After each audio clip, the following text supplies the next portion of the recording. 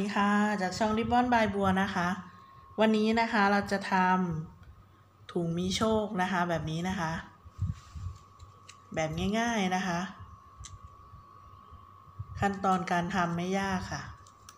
สามารถทำตัวเปล่าไว้ใส่เหรียญที่หลังได้นะคะ แบบนี้นะคะ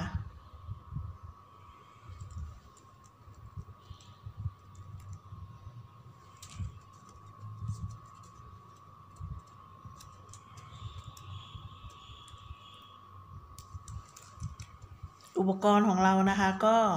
จะมีกันไกลมีแหนบ มีเหรียญนนะคะ มีไม้แหลมนะคะ แล้วก็มีหลอดค่ะ แบบนี้นะคะ ตัดปลายแหลมนะคะ แล้วก็จะมีดิ้นนะคะ ดิ้นเงินดิ้นทองนะคะ แล้วแต่เพื่อนๆชอบนะคะ เอามาไว้ทำเป็นสายห้อยตรงนี้นะคะ แบบนี้ค่ะ แล้วก็จะมีอุปกรณ์ตกแต่งนะคะ แล้วแต่เพื่อนๆชอบเลยนะคะ ตรงนี้ เอามาไว้ตกแต่งตรงจุกตรงนี้นะคะ ตรงนี้ค่ะ ก็จะใช้พิกุลเงินพิกุลทองนะคะหรือเพื่อนๆจะใช้ลูกปัดก็ได้นะคะ ตรงนี้นะคะ แล้วแต่เพื่อนๆจะตกแต่งนะคะ ตรงนี้ค่ะ ถ้าไม่มีดินก็สามารถใช้เศษริบบิ้นนะคะ ทำก็ได้นะคะตรงนี้ แบบนี้นะคะ เสียบปืนกาวไว้ให้ร้อนด้วยนะคะ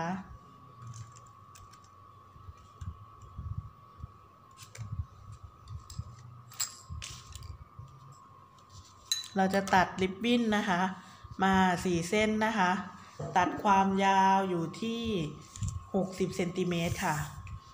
พับครึ่งริบบิ้นนะคะรีดรอยพับให้เป็นรอยค่ะ แบบนี้นะคะ ให้ริบบิ้นเหลื่อมกันประมาณหนึ่งนิ้วค่ะ ตรงนี้นะคะ แบบนี้เลยตัดปลายแหลมทั้งสองด้านนะคะ แบบนี้ค่ะ จากนั้นนะคะเราจะเอาริบบิ้นด้านยาวนะคะ ไว้ด้านบนนะคะเอาริบบิ้นด้านยาวไว้ด้านบนนะคะ เส้นสั้นนะคะไว้ด้านล่างค่ะ เรามาขึ้นฐานกันเลยนะคะ ริบบิ้นเส้นที่หนึ่งค่ะ เส้นที่สองคล้องเส้นที่หนึ่งนะคะ เส้นที่สามนะคะ คล้องเส้นที่สองค่ะ แบบนี้นะคะ เส้นที่สี่นะคะนำริบบิ้นสอดเข้าห่วงตรงนี้ค่ะ แล้วล้วงเอาริบบิ้นเส้นที่สามเข้ามาในห่วงนะคะ แบบนี้เลยแล้วก็ดึงให้กระชับนะคะ เราจะได้ฐานสี่แบบนี้ค่ะ จากนั้นนะคะเราจะขึ้นฐานแปดนะคะ เราจะพับริบบิ้นเส้นด้านล่างตรงนี้นะคะเฉียงขึ้นมาด้านบนค่ะ ด้านล่างขวามือนะคะ พับเฉียงขึ้นมาด้านบนแบบนี้ค่ะ ริบบิ้นเส้นด้านบนนะคะ พับเฉียงลงมาด้านล่างค่ะ ริบบิ้นเส้นด้านล่างซ้ายมือค่ะ ตรงนี้นำปลายริบบิ้นนะคะ สอดเข้าช่องตรงนี้นะคะ สอดแบบนี้เลย แล้วก็ดึงให้กระชับนะคะรีดให้เป็นรอยค่ะการริบบิ้นเลื่อนหลุดนะคะ เราจะได้ฐาน8แบบนี้ค่ะ จากนั้นนะคะเราจะจับริบบิ้นขึ้นมา4เส้นค่ะ ริบบิ้นเส้นที่1นะคะ เส้นที่2ทับเส้นที่1ค่ะ เส้นที่3ทับเส้นที่2นะคะ เส้นที่4นะคะ ทับ เส้นที่3นะคะ แบบนี้ ริบบิ้นทับกันด้านบน4เส้นค่ะ ด้านล่างก็มีริบบิ้นอยู่4เส้นนะคะ แล้วก็จะวางริบบิ้นเส้นด้านบนเส้นนี้นะคะ วางลงมาค่ะ หยิบเอาริบบิ้นเส้นด้านล่างขึ้นมาทับด้านบนนะคะ วางริบบิ้นเส้นด้านบนลงมาค่ะ หยิบเอาริบบิ้นเส้นด้านล่างขึ้นมาทับด้านบนนะคะ วางริบบิ้นเส้นด้านบนลงมาค่ะ หยิบเอาริบบิ้นเส้นด้านล่างขึ้นมาทับด้านบนนะคะ วางริบบิ้นเส้นด้านบนลงมา หยิบเอาริบบิ้นเส้นด้านล่างขึ้นมาทับด้านบนนะคะ ริบบิ้นด้านล่างเขาก็จะหมดแล้วนะคะ ริบบิ้นก็จะมาโผล่ตรงนี้นะคะสี่เส้นนะคะ จากนั้นนะคะ เราจะให้ริบบิ้นด้านบนนะคะ เหลือแค่สามเส้นนะคะ ตรงนี้ เราก็จะวางเส้นนี้ค่ะ วางลงมาระหว่างกลางตรงนี้เลยแบบนี้นะคะ วางแบบนี้เลยไม่ต้องทำอะไรค่ะ จับริบบิ้นนะคะ ยกขึ้นมา ใช้มือซ้ายจับไว้แบบนี้นะคะ เส้นนี้เราก็ปล่อยไว้แบบนี้เลยนะคะ เราก็จะดันแล้วก็จะดันริบบิ้นตรงนี้ค่ะออกมานิดนึงค่ะ ปัดสามเส้นที่เหลือไว้ด้านหลังแบบนี้นะคะ เราจะเอาริบบิ้นที่เหลือนะคะ เส้นที่หนึ่งสอดเข้าห่วงที่หนึ่งตรงนี้ค่ะ แบบนี้นะคะ เส้นที่สอง สอดผ่านห่วงที่หนึ่งนะคะ มาโผล่ห่วงที่สองแบบนี้ค่ะ เส้นที่สามนะคะ สอดผ่านห่วงที่หนึ่งห่วงที่สองมาโผล่ห่วงที่สามค่ะ สอดเข้าไปแบบนี้เลย แบบนี้นะคะเราก็ปล่อยมือนะคะริบบิ้นก็จะยุ่งยุ่งหลวมหลวมๆนะคะเราก็จะค่อยๆรวบริบบิ้นเข้าหากันค่ะค่อยๆรวบริบบิ้นเข้าหากันนะคะ แล้วก็ดูอย่าให้ริบบิ้นบิดผิดรูปนะคะ ขั้นตอนนี้เขาก็จะยังไม่แน่นนะคะริบบิ้นจะยังไม่แน่นค่ะ ก็จะทำคล้ายลูกส้มเลยนะคะทำเหมือนลูกส้มเลย แบบนี้นะคะ ยังหลวมนะคะพลิกกลับด้านมาค่ะ เราจะได้แบบนี้ แล้วก็ไล่ดึงค่ะ ค่อยๆไล่ดึงนะคะ ทั้ง 8 เส้นค่ะ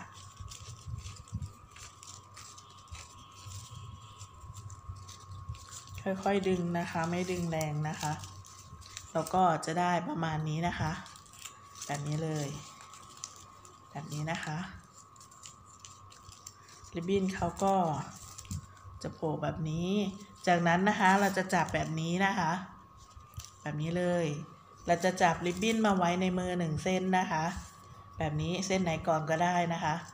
หนึ่งเส้นนะคะ นับไปหนึ่งสองสามค่ะ นับมาสามเส้นนะคะ วางพาริบบิ้นหน้าเส้นที่สามเลยค่ะ แบบนี้นะคะ ใช้มือซ้ายจับไว้นะคะด้านล่างนะคะ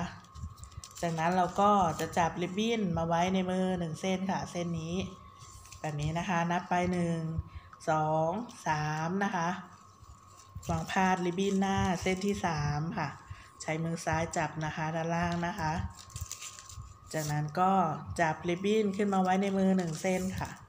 นับไปหนึ่งสองสามนะคะ วางพาดริบบิ้นหน้าเส้นที่สามค่ะ แบบนี้เลย แบบนี้นะคะ จับริบบิ้นขึ้นมาหนึ่งเส้นค่ะ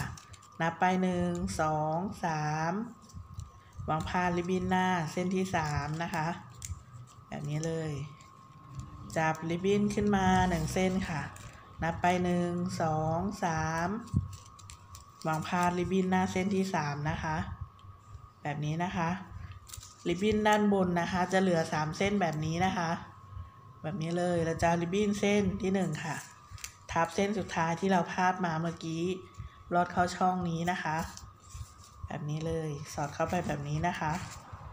ตรงนี้ ริบบิ้นโผล่ตรงนี้ค่ะ เส้นที่สองนะคะ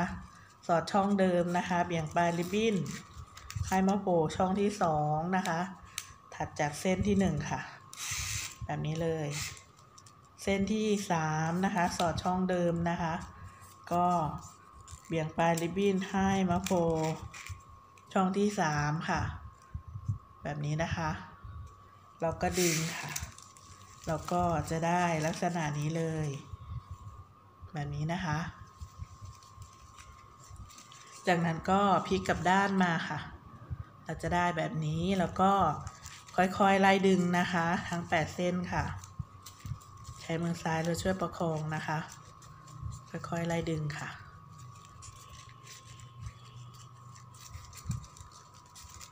จากนั้นนะคะเราก็จะสอดเก็บริบบิ้นนะคะ โดยสอดไปตามแนวของริบบิ้นเลยค่ะ ริบบิ้นโผล่ช่องที่สามนะคะหนึ่งสองสาม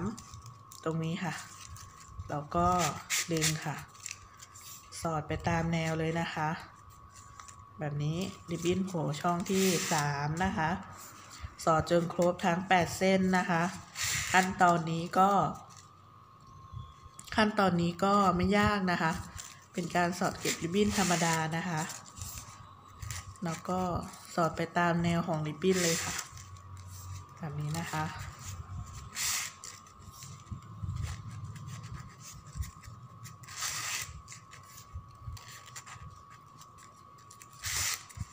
แบบนี้ค่ะ เราสอดครบแล้วเราก็ไล่ดึงค่ะ ค่อยๆ ไล่ดึงให้กระชับนะคะ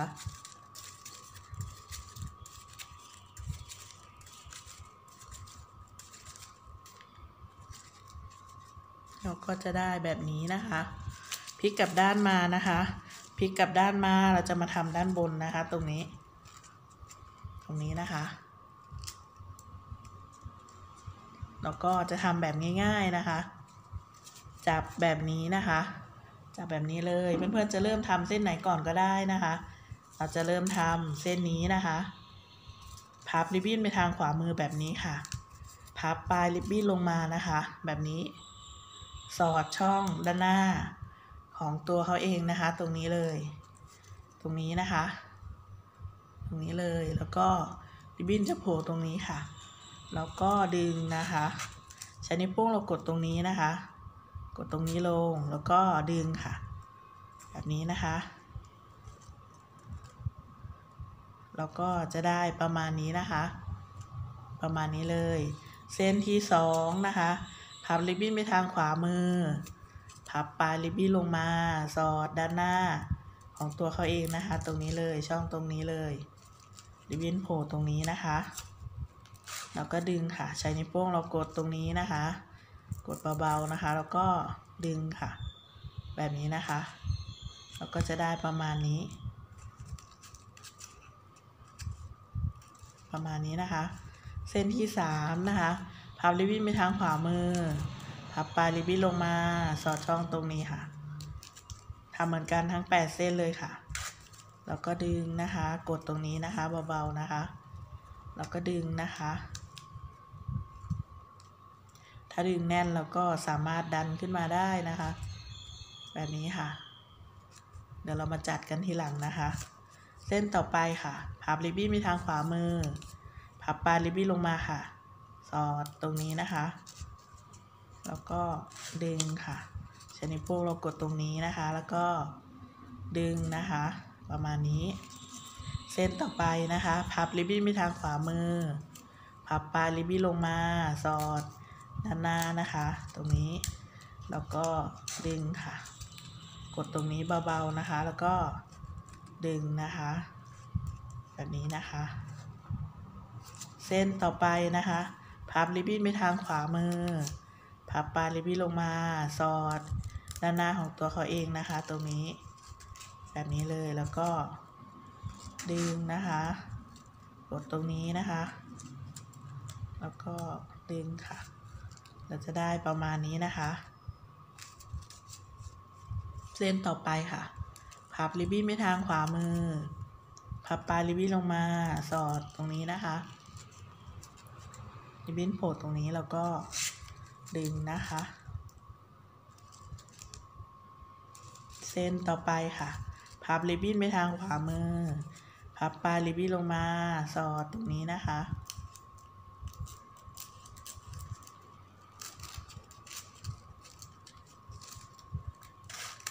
แล้วก็กดตรงนี้นะคะ ดึงนะคะ จากนั้นเราก็ดึงจัด กลีบให้เท่ากันนะคะ ดึงให้ปลายแหลมนะคะ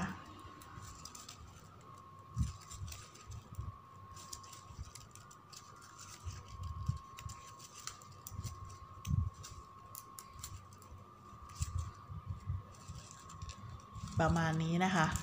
แล้วก็จะได้ประมาณนี้ค่ะ แบบนี้เลย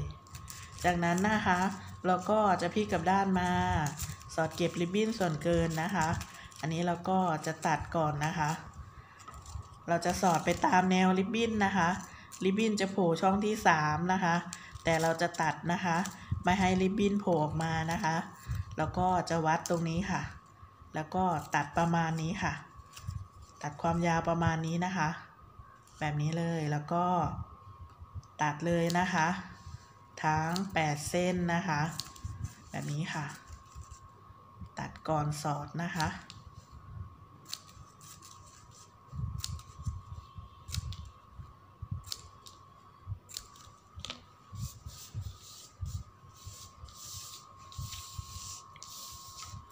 ประมาณนี้นะคะแล้วก็จะตัดประมาณนี้เลยกะเลยนะคะ จากนั้นนะคะเราก็จะสอดนะคะ เก็บริบบิ้นค่ะ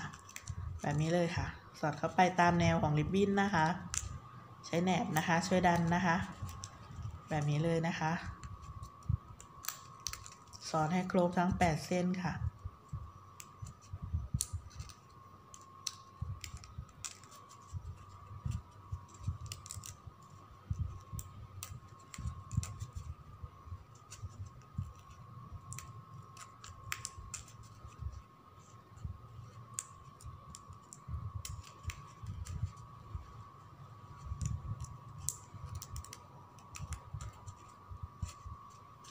แบบนี้นะคะแล้วก็จะได้ประมาณนี้ค่ะ จากนั้นนะคะเราก็จะมาเอาดิ้นจากนั้นนะคะเราจะใส่ดิ้นนะคะ เอาดิ้นใส่เข้าไปนะคะ แล้วก็ตกแต่งนะคะ เอาดินใส่เข้าไปตรงนี้นะคะ เทคนิคการใส่นะคะ เราก็จะใช้ไม้แหลมนะคะ เสียบตรงรูก่อนนะคะ สียบนำนะคะ ให้เราสอดง่ายๆนะคะเราก็จะเอาดิ้นที่เรามัดปมไว้แบบนี้นะคะ แบบนี้เลย ใช้ความยาวอยู่ที่ 7 นิ้วนะคะ ตัวนี้ตรงนี้แล้วแต่เพื่อนๆชอบนะคะ สั้นยาวแล้วแต่เพื่อนๆชอบเลยค่ะ ตรงนี้เราก็เอาดิ้นนะคะ หลอดแล้วก็ตัดปลายแหลมแบบนี้ค่ะ เอาดินสอดเข้าไปนะคะในหลอดนะคะ สอดเข้าไปค่ะ จากนั้นนะคะเราก็เอาหลอดนะคะเสียบขึ้นมานะคะแล้วก็เอาหลอดนะคะ เสียบให้โผล่ขึ้นมานะคะ ตรงนี้ค่ะ แบบนี้นะคะ เสียบแบบนี้ค่ะ เราก็ดึงค่ะ แบบนี้นะคะ ก็เราก็จะทำแบบง่าย ๆนะคะ แบบนี้เลย เพื่อนๆจะติดแค่นี้ก็ได้นะคะ จะไม่ตกแต่งก็ได้นะคะ อันนี้เราก็ จะสอดดอกพิกุลนะคะพิกุลเงินนะคะ เราก็จะใช้ลวดเส้นเล็กๆ แบบนี้นะคะ สอดนะคะ ช่วยสอดนะคะ ก็เอาเข้าไปไว้ในดินตรงนี้แบบนี้นะคะ แล้วก็ จะเอาพิกุลนะคะใส่เข้าไปค่ะ เวลาเราสอดกับดิ้นเราอาจจะสอดยากนะคะ เราจะใช้ลวดแบบนี้ค่ะ สอดนะคะ แล้วก็ดึงเข้าไปแบบนี้นะคะ แบบนี้เลย จากนั้นนะคะเราก็จะติดกาวนะคะ ติดกาวร้อนนะคะ ยิงกาวค่ะ ยิงกาวเข้าไปตรงกลางนะคะ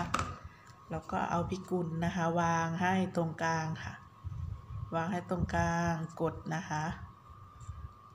แบบนี้เลย แบบนี้นะคะ จากนั้นเราก็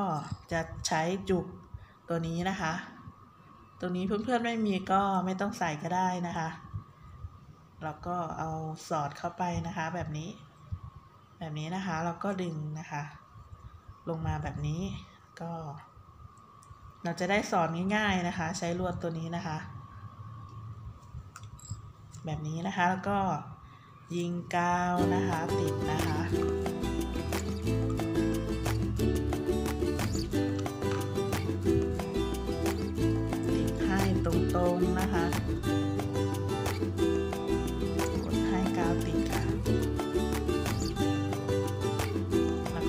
ประมาณนี้นะคะ แบบนี้เลย แบบง่าย ๆนะคะ ขั้นตอนการทำก็ไม่ยากนะคะ แบบน่ารักนะคะแบบนี้ใส่เหรียญที่หลังก็สามารถดันเหรียญนะคะ เข้าไปนะคะ แล้วก็ใช้แหนบช่วยหมุนหมุนลงไปนะคะ ที่เป็นลายที่ทำง่ายน่ารักนะคะแบบนี้นะคะ ใช้ริบบิ้นไม่เยอะด้วยนะคะ